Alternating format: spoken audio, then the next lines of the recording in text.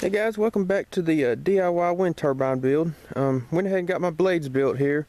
You see I've used a 3 inch uh, PVC pipe. What I've done is I just split the PVC pipe down the sides there. Let me uh, stand it up here, get you a better idea.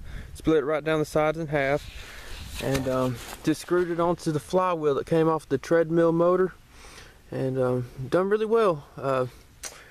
Really not much to say about it really. Uh, the flywheel though, hopefully won't give me no problems, but my treadmill motor is a clockwise uh, rotation motor and this flywheel here is left-handed threads which means if you turn it to the right it's actually going to it's going to uh, loosen instead of turning to the left uh, how normal screw would you know loosen to the left but this one would um, listen to the right or you know left hand threads.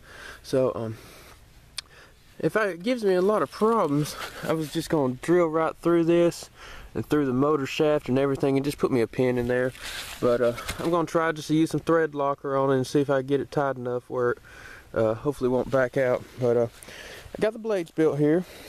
Um, so right here had to try a couple times before I got the uh, holes just right. Um, but you know I really didn't have no problems out of it. This is a schedule 40 PVC pipe here. Just had laying around.